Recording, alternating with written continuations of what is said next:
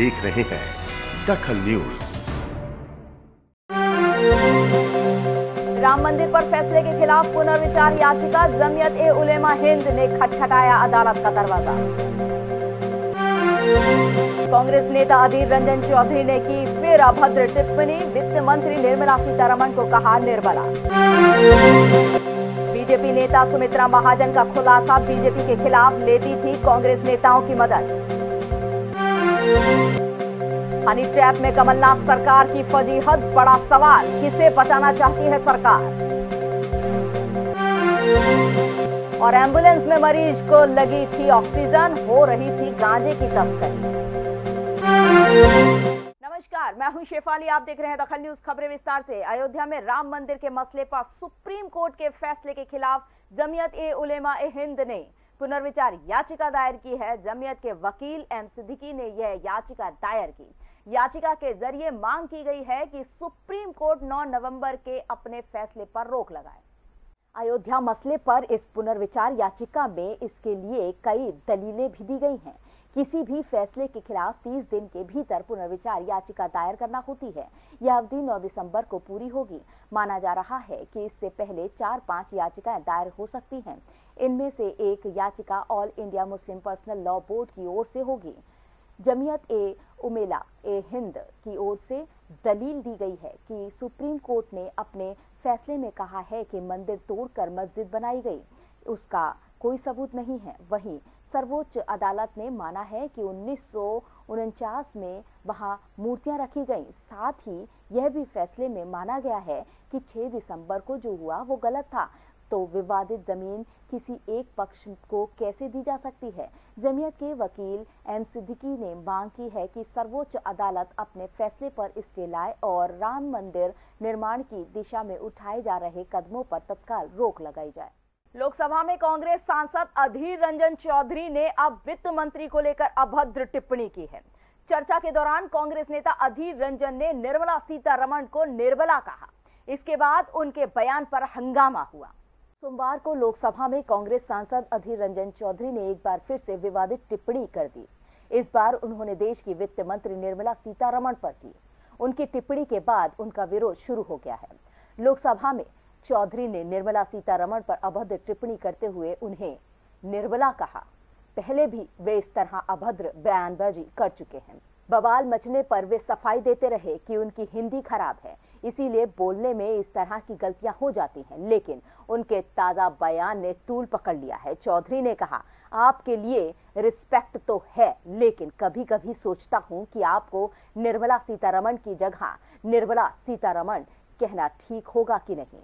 आप मंत्री पद पे तो हैं, लेकिन जो आपके मन में है, वो कह भी पाती हैं या नहीं? बीजेपी की सीनियर नेता और पूर्व लोकसभा अध्यक्ष सुमित्रा महाजन अपनी ही पार्टी के खिलाफ कांग्रेस की मदद लेती थी। सुमित्रा महाजन ने इंदौर में एक कार्यक्रम के दौरान इस बात का खुलासा किया और कहा कि जब सवाल इंदौर का हो तो सब कुछ करना पड़ता है। कई मर्तबा आम लोगों को लगता है कि दोनों ही पार्टियों के नेता एक से ही हैं। इसका खुलासा खुद बीजेपी की सीनियर लीडर सुमित्रा महाजन ने किया। सुमित्रा महाजन ने राज्यपाल लालजी टंडन की मौजूदगी में एक राज खोला और कहा, मेरी सरकार के खिलाफ मैं नहीं बोल सकती थी।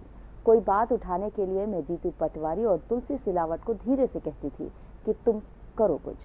महाजन ने कहा कि जीतू पटवारी में मेरा शिष्य बनने के सभी गुण हैं। जीतू, सही में शिक्षा मंत्री के रूप में बहुत सही पकड़ी। तो सच तारीफ़ के लिए नहीं अभी रास्ते में आते आते कोई बोल रहे थे कि ताई, ये जीतू आपका शिष्य है। मैंने कहा शिष्य है नहीं। वो अपने व्यवहार से ज़रूर ये कल कहला सकता है कि हाँ ये लगता है ये ताई का शिष्य बनने लायक ये व्यवहार से व्यवहार से। सुमित्रा महाजन के बारे में पटवारी ने कहा कि हम राजनेताओं से अपनी कुर्सी का मोह मुश्किल से छूटता है, लेकिन ताई इतनी सहज और सरल हैं कि उन्होंने इसे छोड़ने में मिनट भर का भी वक्त नहीं लगाया। पूर्व लोकसभा अध्यक्ष सुमित्रा महाजन ने कहा कि पार्टी का सवाल नहीं। जब शहर का विकास करने निकलते हैं तो सब एकजुट रहते हैं।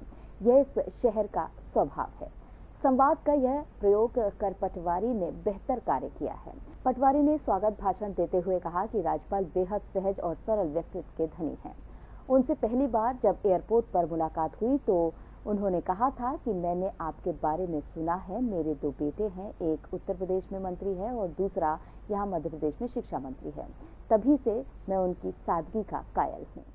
हनी ट्रैप मामले में कुछ बड़े खुलासे कर रहे अखबार। संचा लोक स्वामी के कार्यालय को सील किए जाने के कमलनाथ सरकार के फैसले की हर तरफ़ आलोचना हो रही है। माना जा रहा है सरकार से जुड़े कुछ बड़े लोगों के नामों का यह अखबार खुलासा करने वाला था। इसीलिए समाचार पत्र के मालिकान पर कई मामले दर्ज कर दिए गए। इंदौर प्रेस क्लब और बीजेपी महासचिव कैलाश विजयवर्गीय ने पुलिस प्रशासन की कार्रवाई की निंदा की है।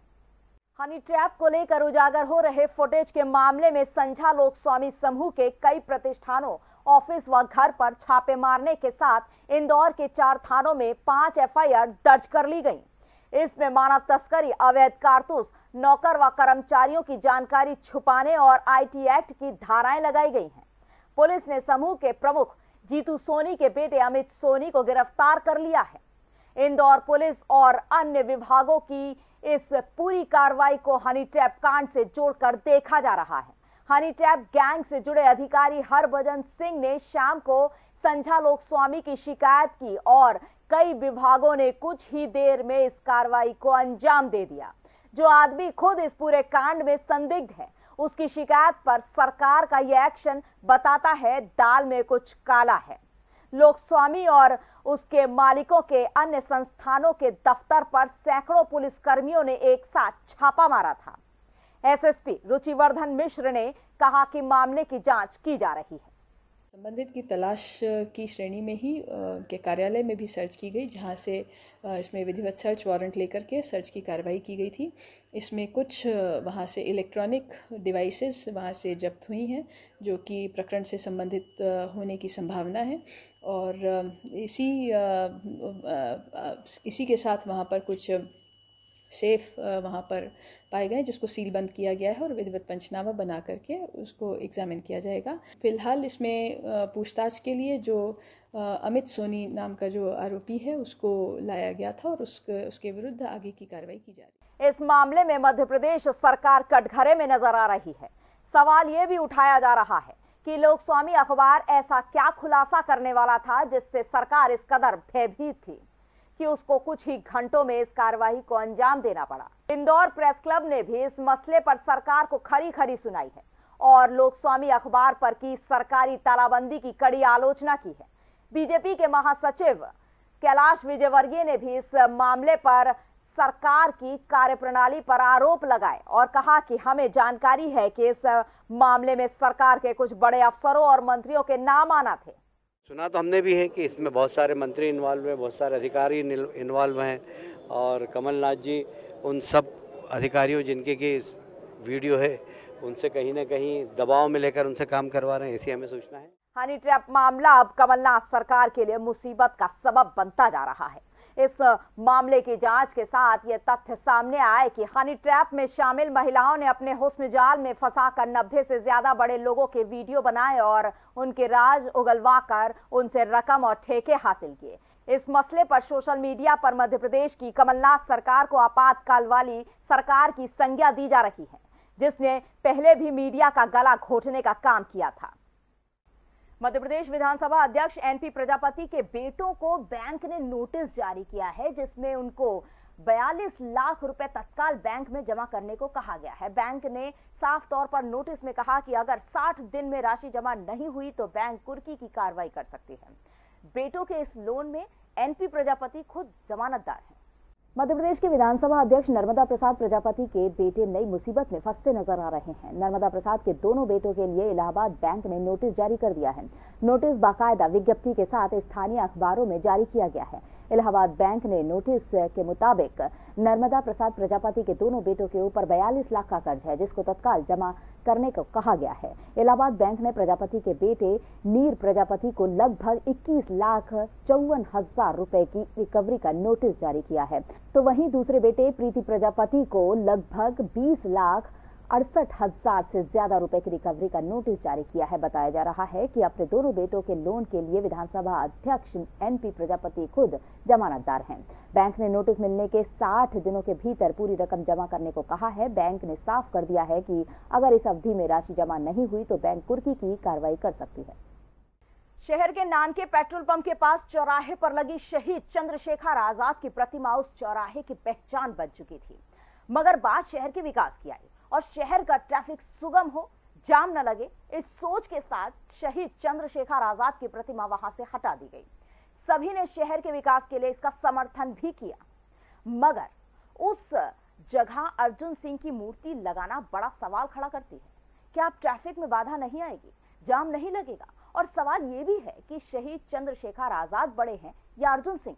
नानके पेट्रोल पंप के पास शहीद चंद्रशेखर आज़ाद की प्रतिमा हटाना शहर के विकास के लिए ज़रूरी था। तो अर्जुन सिंह की प्रतिमा वहाँ क्यों लगाई जा रही है? और अगर शहर में कोई समस्या चौराहे पर प्रतिमा लगाने से नहीं हो रही, ट्रैफ़िक जाम नहीं हो रहा, सब कुछ सुगम है तो वापस से शहीद चंद्रशेखर आज़ाद की प्रतिमा क्यों नहीं लगाई जा रही? अर्जुन सिंह की प्रतिमा वहाँ क्यों लगाई जा रही है?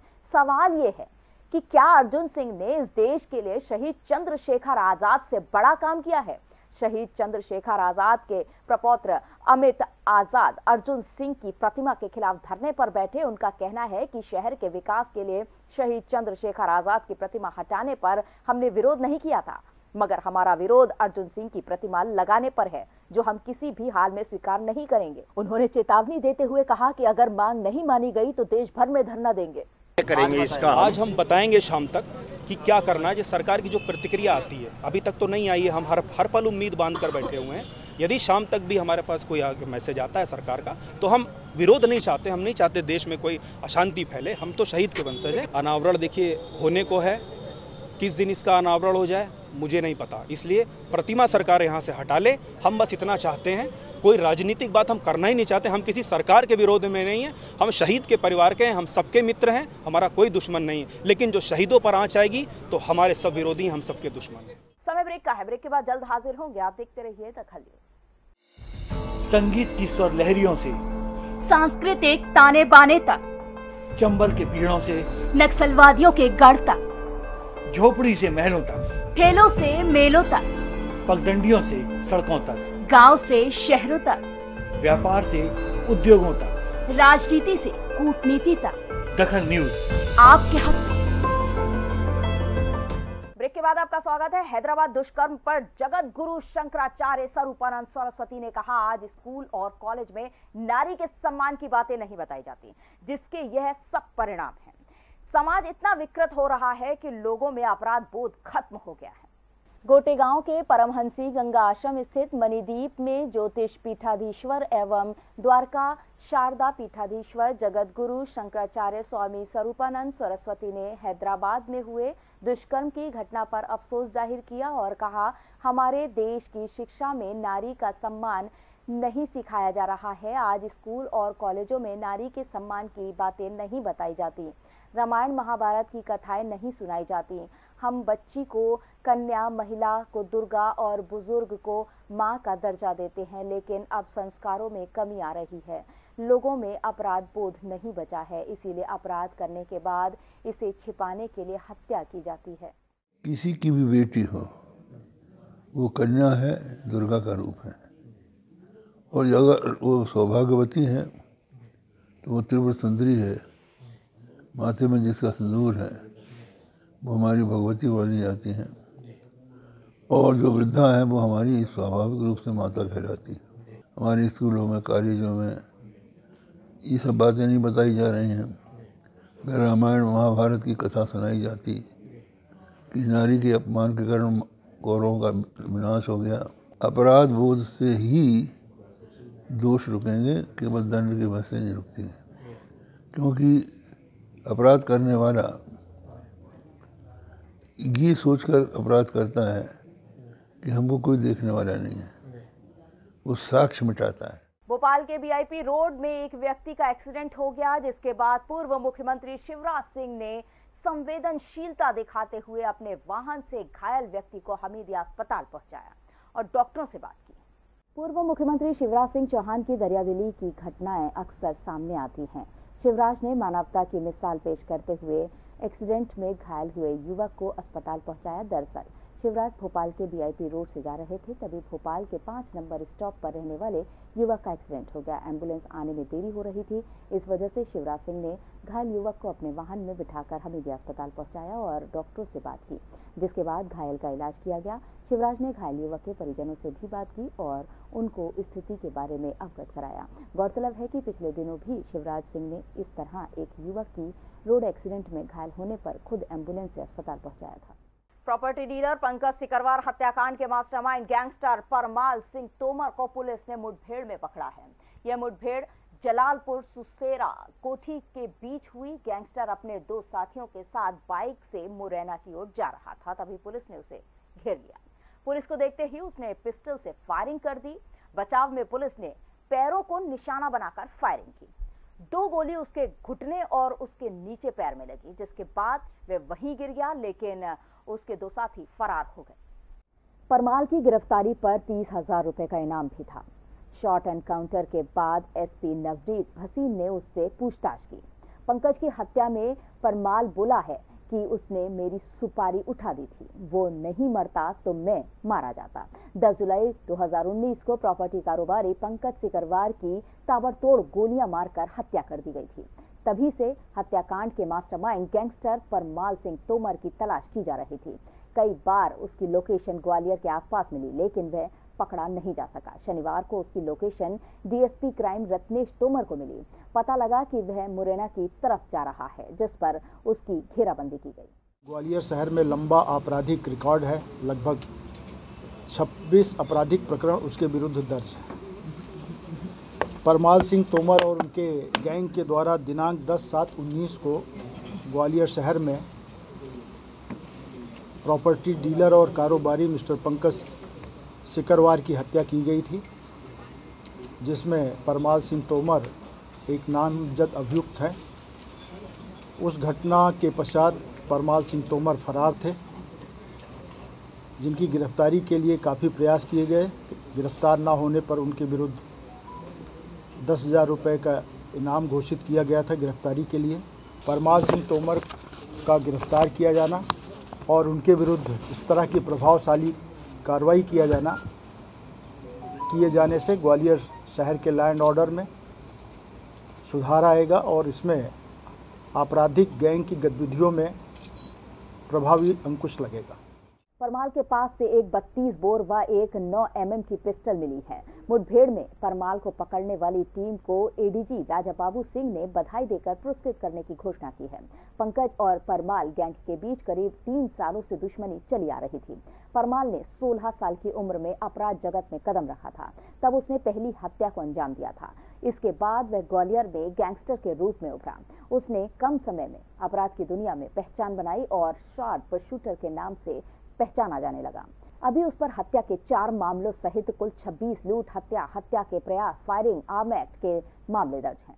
गांजा तस्करों की लगातार धरपकड़ से परेशान तस्करों ने अब गांजा तस्करी का एक अनोखा ही तरीका इजाद कर लिया। गांजा तस्कर एक व्यक्ति को ऑक्सीजन मास्क लगाकर एंबुलेंस से गांजा तस्करी कर रहे थे। लेकिन इसके बाद भी गांजा तस्कर पुलिस के हत्ते चढ़ गए। एंबुलेंस में नकली मरीज़ को ऑक्सीजन मास्क लगाकर गांजे की तस्करी की जा रही थी। इस अनोखे तरीके से तस्करी करने वालों को पकड़कर कोंडागांव पुलिस को बड़ी सफलता हासिल हुई है। एंबुलेंस में गांजा तस्करी कर रहे चार आरोपी गिरफ़्तार कर लिए गए हैं। कोंडागांव पुलिस को मुखबिर से सूचना मिली थी। पुलिस ने चेकिंग के दौरान जगदलपुर की ओर से आ रही एंबुलेंस की तलाशी ली, जिसमें एक मरीज़ लेटा हुआ था, जिसे ऑक्सीजन लगाकर युवक वहाँ बैठे हुए थे और ड्राइवर लगातार एंबुलेंस का सायरन बजा रहा था। तलाशी के दौरान 40 किलो गांजा बरामद हुआ है। गांजे को मरीज़ के बिस्तर के नीचे दबाकर तस्करी की जा रही थी। मिली जानकारी के अनुसार एंबुलेंस व चारों आरोपी पानीपत, हरियाणा के निवासी है। कोंडागांव पुलिस ने लगातार चेकिंग के माध्यम से मादक पदार्थों के परिवहन पर कार्रवाई की है। बीती रात भी एक टाटा इंडिका कार से एक आरोपी अड़तीस किलो गांजे के साथ गिरफ़्तार हुआ था, जो की रायपुर का निवासी बताया जा रहा है।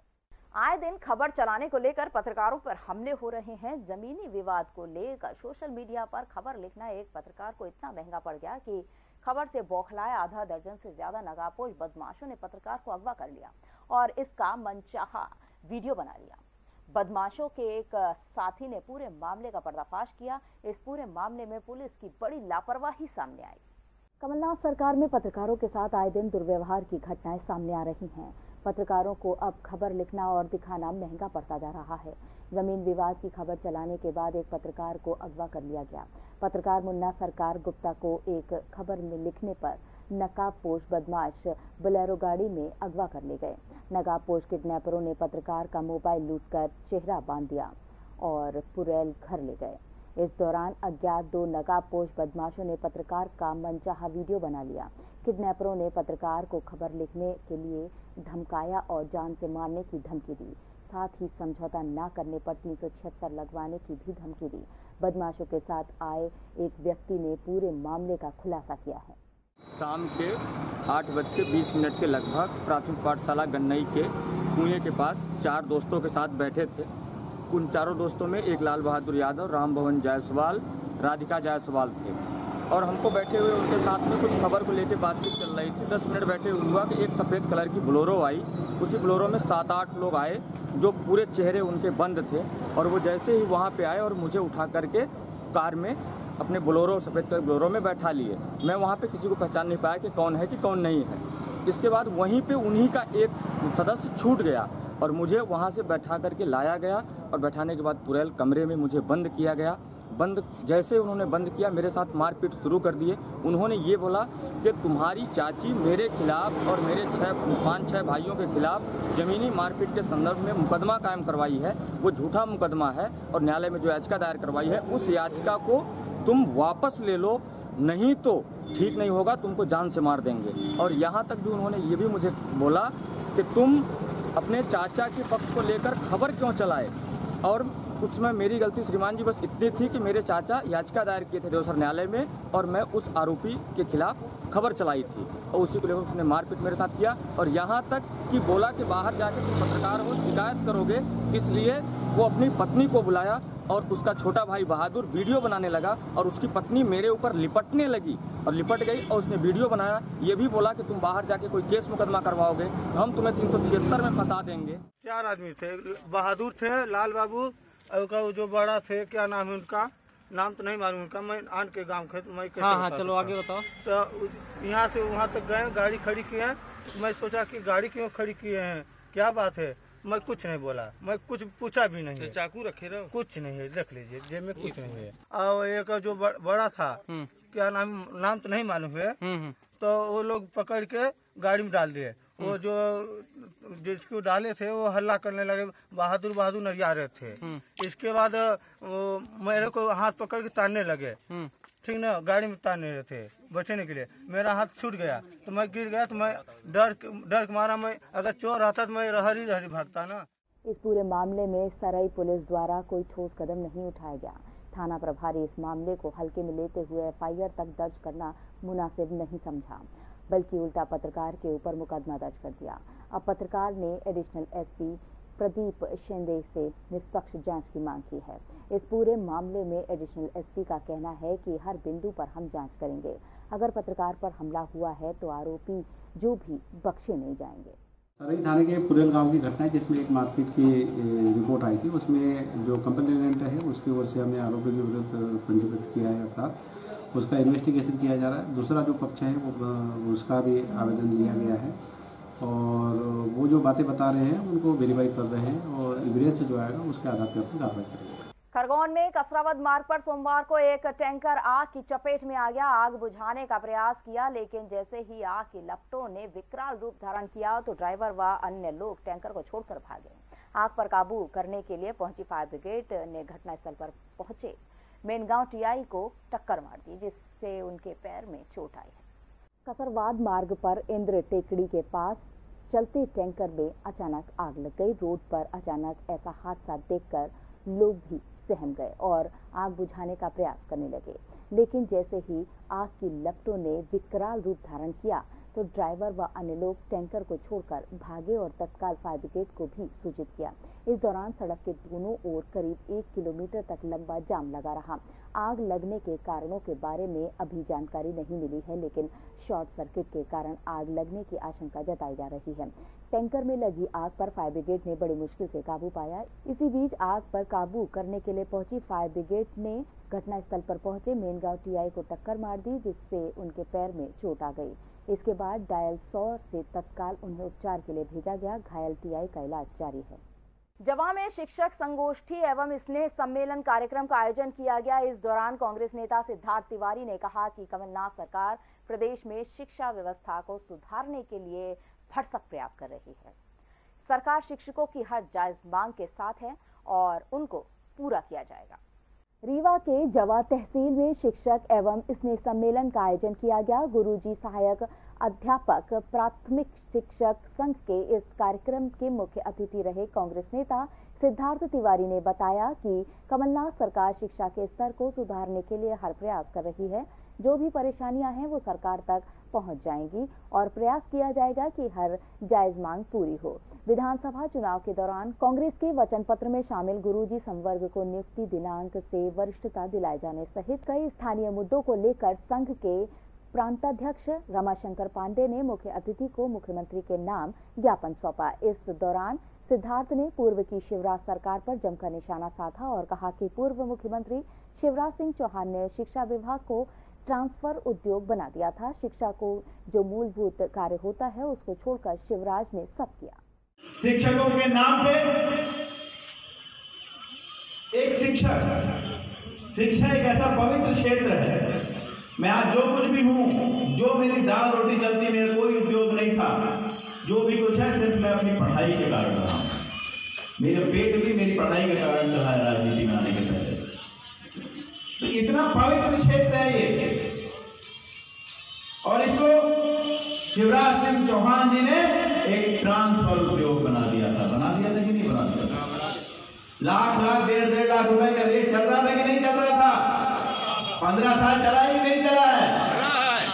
शिक्षकों को समाज निर्माण करने का जो कार्य उनका होता है, उसको छोड़ करके सब ग्वालियर के सुप्रसिद्ध कैप्टन रूप सिंह स्टेडियम पर प्रशासन एकादश और पत्रकार एकादश के बीच मैत्रीपूर्ण क्रिकेट मैच खेला गया। पहले खेलते हुए पत्रकार एकादश ने चौरानवे रन बनाए, लेकिन पिचानवे रन बनाकर प्रशासन की टीम ने नौ विकेट से यह मैच जीत लिया।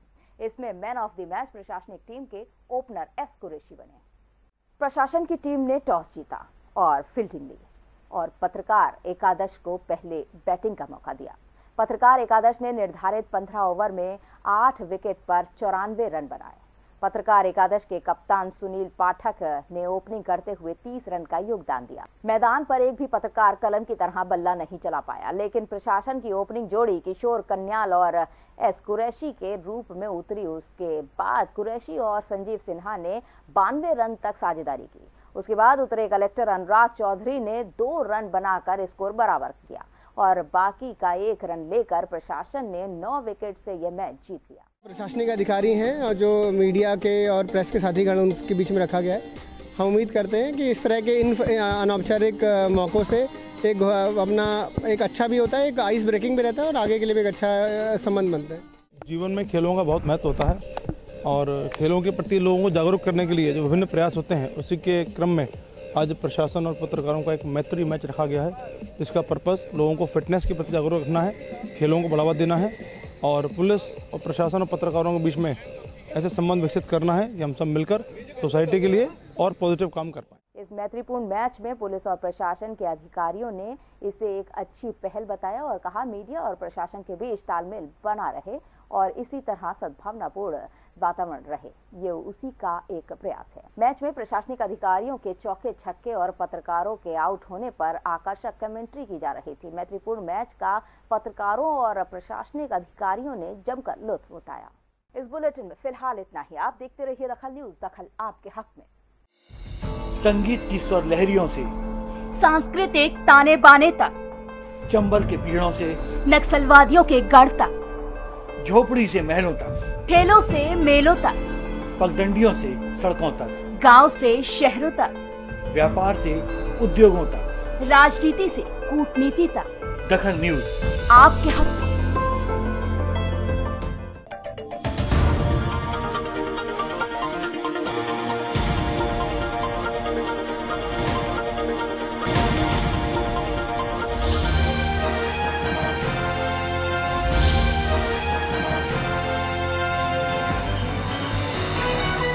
देख रहे हैं दखल न्यूज़।